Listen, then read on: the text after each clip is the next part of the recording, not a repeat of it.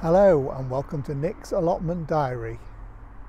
Today I'm going to give you seven seed sowing tips that will give you a great start to the growing season.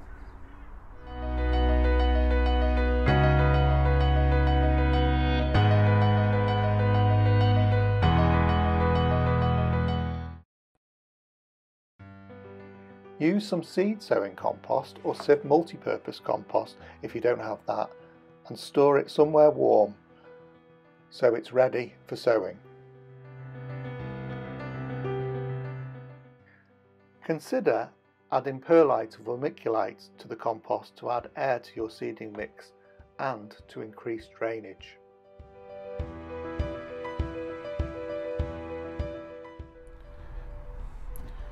Wet your compost before sowing in it. The best way to do that is to place your tray in a bath of water and it will draw the water up through the compost and make sure that it's not too wet. Use fresh water or tap water, not rainwater that's been in a water barrel to start your seedlings if possible. This is because stored water is likely to have mould spores or algae in it and that can cause sensitive seeds to damp off which means they'll just keel over and die.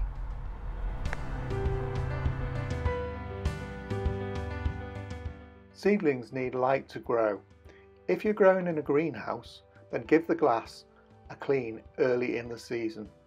This will increase light levels and help to grow sturdy seedlings which have a greater chance of success.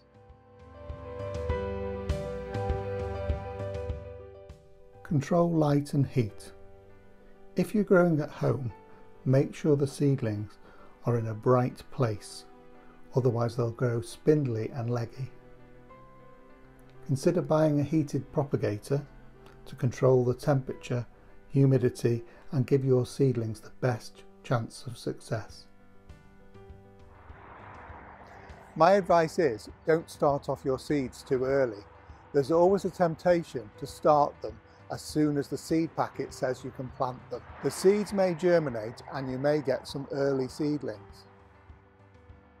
Consider how long you'll need to keep the plants inside. You may end up with thin spindly plants that will never do as well as a plant produced later in the season.